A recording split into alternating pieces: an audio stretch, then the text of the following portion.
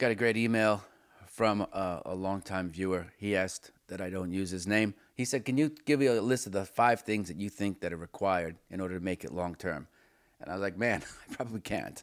I know that there's a lot of things because everybody's so unique. The five things that I might say might not be relevant to you, but anyway, the things that come off the top of my head are mental fortitude." Uh, I don't think enough is spoken about this. We talk about trader mindset here, obviously, all the time, which is kind of like another saying the inner voice of trading. Mental fortitude. At the beginning of, of where, if you're just starting out, you might see trading as a bit of a grind. Once you do know how to make money, you might see it as monotony, right? So I don't want to call it grind because once you figure it out, it's not a grind. But there is something monotonous about it, and you have to have the ability to do the same thing over and over and over again. It takes a special type of discipline to be able to do that. That comes with number two, having a good attitude things are going to happen in your life that are outside of trading that could very well play into your trading. If you want to see what that's like, go read Victor Sperandeo's book, Methods of a Wall Street Master, where he talks about a $4,000 hair dryer. Um, you have to be in the right type of attitude to stay positive because the minute you start to turn sour, that's going to find its way into your trading as well. Three, however you do it, whether you're trading and scalping in two minute bars or whether you're a position trader or whether you're even an investor, you, you do need to have a strong sense of risk management. Entries and exits matter. Position sizing and the use of leverage to me are probably 98%, and entries and exits are each 1%. Like that's how much important it is. You need to understand risk management. You need to know where you're wrong. You need to think in terms of percentages, not dollars. Retail small timers think in terms of dollars. So don't be that way. Think in terms of percentages because then I think your upside is unlimited. Uh, four, I'm going to put this in there. Could be controversial. I think you need a good sense of timing. If you don't run a full mechanized system where you're buying 20 day breakouts, for example, you do have to have a good sense of when to add the risk or when to remove whatever risk is that's appropriate for where you are in your life. That's especially true the shorter term that you trade. That's you know scalping. You know, like I said, one, two, three, three minute bars. I don't know what you might be looking at. I don't know if can you go to ticks. I suppose you could. So if you're a scalper to say, I'd say up to like a two or a three day swing trader, you need to have a good sense of timing. The rules are the rules, but in my experience, if you can't find a way to get good timing around that, and get, and develop a good sense for the markets, it's going to be hard to make money on the short end of it. Um, and then five, this isn't spoken about enough either, is that you actually have to have the intention of making money. You can't come in and say, I'm going to try to wing it. You can, but you're going to get wing it results. You'll make a little money. You'll probably lose a little bit of money. But at the end of the day, what's it all going to add up to? It's going to look a lot like whatever your goal is.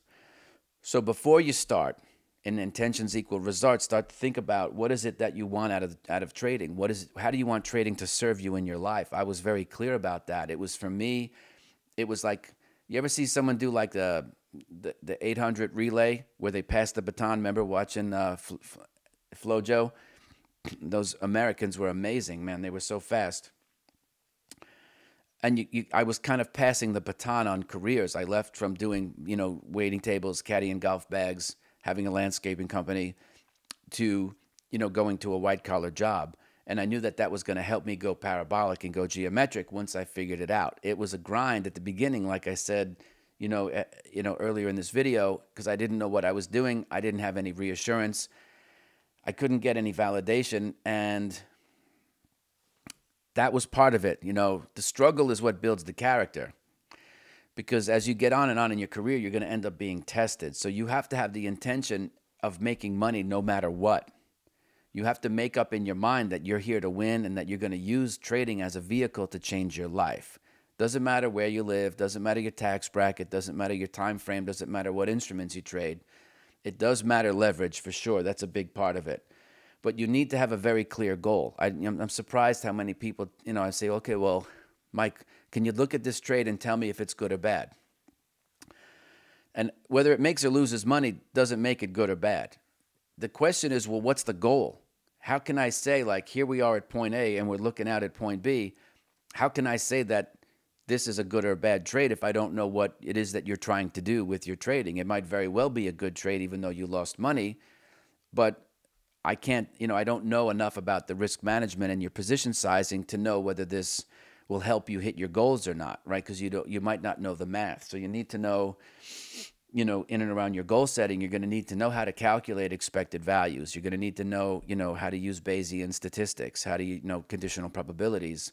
You, you know, you should probably know, you know, Kelly formula, and then be able to calculate if you'd have a certain expected value of a trade, how many trades were you going to need to hit your goal, and then kind of reposition yourself because you might not be taking enough risk. You might, you some of you might not be.